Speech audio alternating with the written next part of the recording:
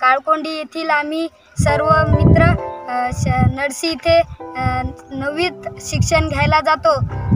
तरी आमच्या नदीला चार ते सहा महिने पाणी असते व चिखल तुडवत आम्हाला जावे तीन किलोमीटर अंतरावर चिखल तुडवत जा जावे लागते.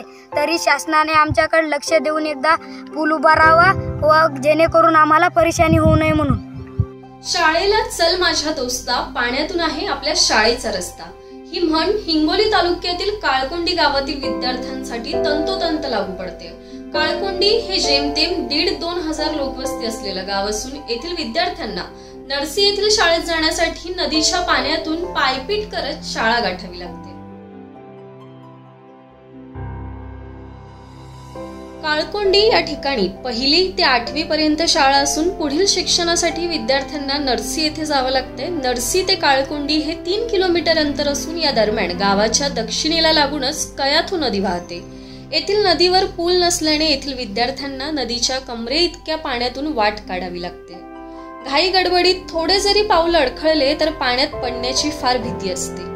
विद्यार्थ्यांसह येथील ग्रामस्थांना तसेच शेतकऱ्यांना सुद्धा पूल अभावी अनेक अडचणींचा सामना करावा लागतोय. येथील एकूण चाळीस मुलं मुली हे शिक्षण घेण्यासाठी नर्सी येथील शाळेत सध्या येत असून येथील विद्यार्थ्यांना जवळपास पाच ते सहा महिने अतिशय कठीण परिस्थितीतून शाळेला जावं लागते विद्यार्थ्यांना पाण्यातून येताना आपलं दप्तर आणि कपडे डोक्यावर घेऊन नदी पार करावी लागते.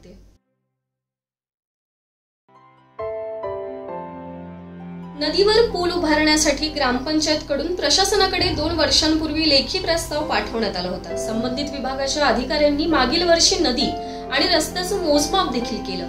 मात्र त्यानंतर पूल उभारण्यासाठी कोणतीही हालचाल अद्यापपर्यंत झालेली दिसत नाहीये. यामुळे येथील पुलाचा प्रश्न भविष्यात मार्गी लागणार आहे की नाही असा प्रश्न यावेळी उपस्थित होतोय.